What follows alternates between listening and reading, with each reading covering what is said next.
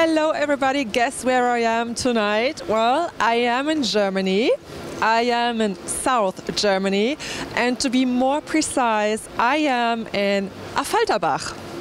And what am I doing here tonight? I'm here to present you the all new Mercedes AMG GT.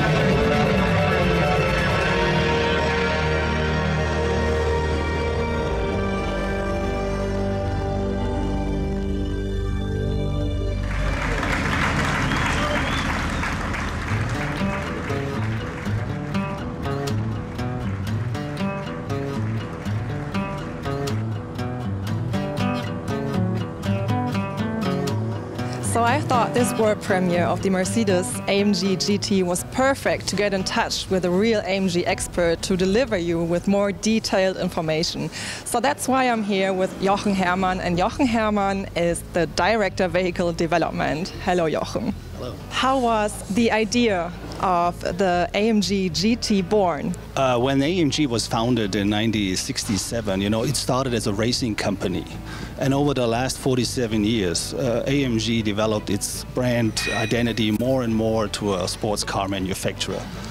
So the idea was born with the AMG GT to say, well, if we really want to show our competitiveness, we have to go into that one segment, you know, where there's a lot of competition.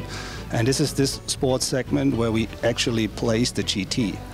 There are iconic vehicles in that segment, and this is where we want to show, you know, the capability of AMG and sharpen even more our brand.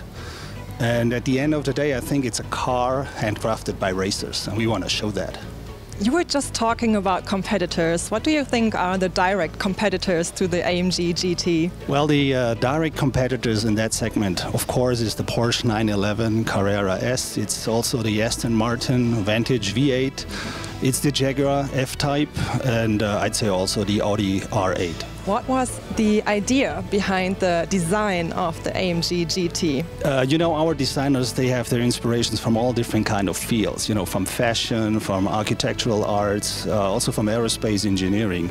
So uh, sportiness and uh, emotion is the basis for this vehicle. It's a typical two-seater sports coupe. Uh, with our transaxle concept, we have a perfect weight balance in the car, and we also wanted to show a typical rear-wheel driven vehicle in the design.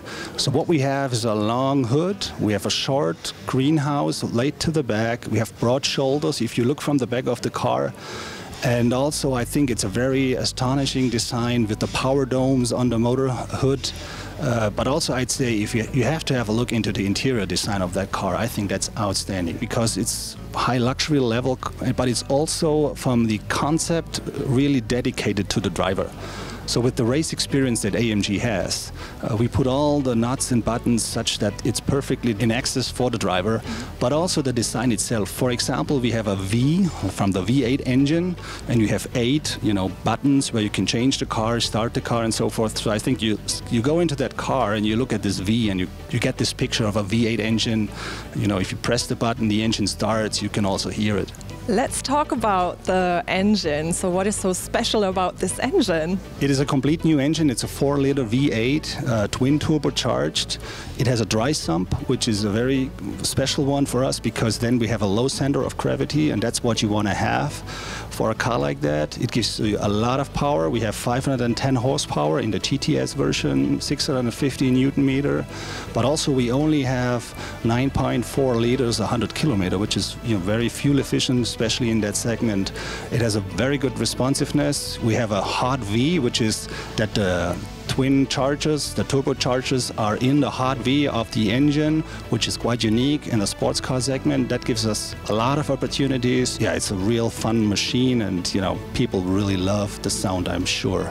Could you please describe the effort that went into testing and handling of this car? With all the technical things that we have in the cars, we have a lot of specialists working on that. But I think what is really worth mentioning is we also brought in a new process because you know the technique itself is one side, but you have to have a conductor that you know puts all these pieces together in a perfect working orchestra. So we introduced a new role, which is the uh, vehicle dynamic integrator. This person makes sure that all the you know, the uh, specific unique techniques play together and it's an overall systems with this one goal of absolute driving performance.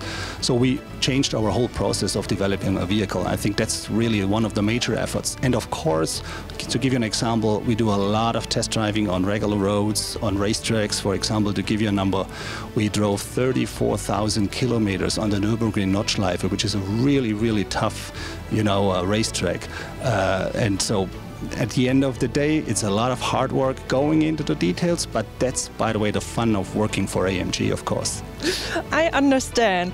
When is the point that um, people out there can have fun with the AMG GT? When will you release this beast? The uh, sales will start uh, in the quarter one of 2015 in Europe, and then we will roll out the vehicle all over the world pretty soon. And uh, how much money do we need to buy it? You have to understand that at this point of time, I cannot tell you the number. Uh, we will just give you a release date when people can order the car, and that's the point of time where we'll also say you how money you will have to spend. I can tell you it's worth every single dime. Okay, I believe you. Thank you very much, Jochen Hermann.